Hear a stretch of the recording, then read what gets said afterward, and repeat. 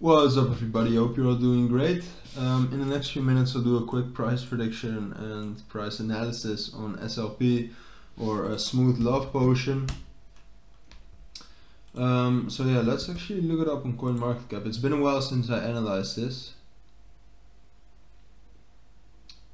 Alright. Should look at the market cap. Market cap of around 123 million.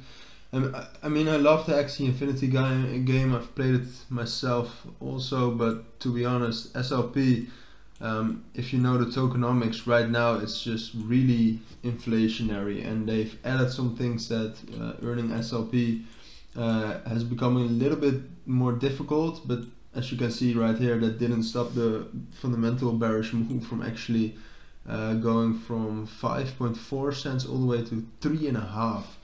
Um, so to be honest, I don't think it's going to get back to 6 cents easily. It could get there, but we need to see something like this. So the, the 3.3 cents we have reached needs to be the absolute low.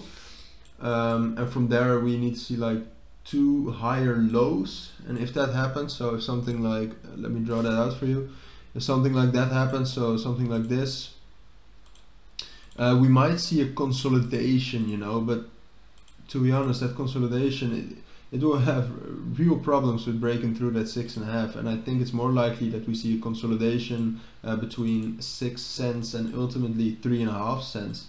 Um, in my opinion, I mean, Axie Infinity, the game has great potential. Uh, but investing in the Smooth Love Potion right now just does not seem like a good investment.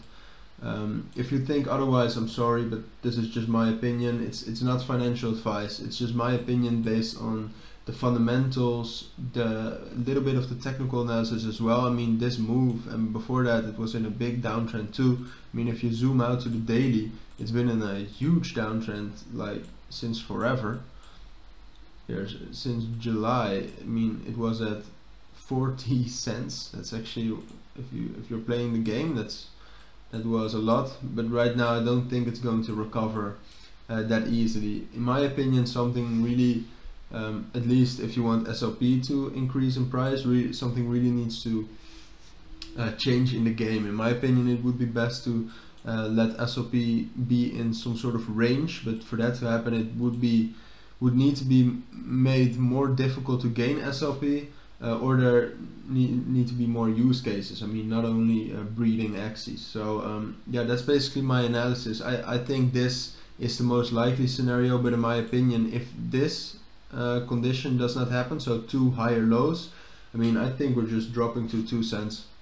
Um, probably not in one move, but I think we're just going to uh, continue a downtrend such as this one up until two cents. So uh, and from the two cents, who knows? But it, it really requires some in-game changes for SLP to um, to maybe not stabilize because I think it will stabilize, but maybe go up a little bit, and that then they can stabilize it a little bit higher. Um, in my opinion, that would be more healthy. Um, but yeah, that's my opinion and not financial advice. And this is my analysis on SLP for the upcoming but this will probably be for the upcoming weeks. And we might have some nice bull runs within this so if you're trading SLP that could happen. Um, but yeah I don't, I don't, see it uptrending like a, a, real uptrend on the daily time frame. So yeah um, that's my analysis. I would advise you to always do your own research as well um, but yeah, if you have any questions about the analysis, please let me know down in the comments and I'll make sure to respond to that as soon as possible. And as for now, thank you all for watching and listening and I hope to see you all in my next videos. Bye.